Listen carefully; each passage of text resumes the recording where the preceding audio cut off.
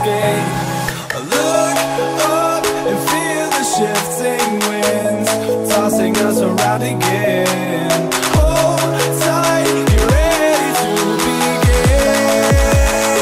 to begin And just levitate